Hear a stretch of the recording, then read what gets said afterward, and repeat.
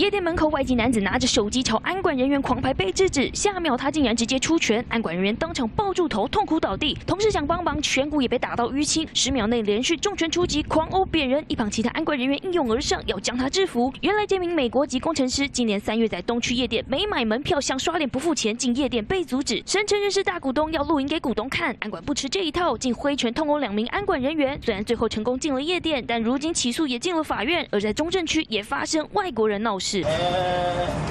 对到没办法回应警察，这名自称是来台教书的白俄罗斯籍博士，日前到北市中正区一间酒店狂欢，不满店员态度不佳，三人蹲在路边理论。这时外籍博士竟从身后拿出一块大砖头，直接朝两人脸部砸过去，差点见血破相。两名黑衣男气炸狂追，最后闹到远警也到场。臭气熏天，随时准备要呕吐在警车上，让远景相当困扰，就怕喷泉突然涌出。虽然最后双方互不提告，但警方依然以社会秩序维护法将他送办。这一文李彩珊采访报道。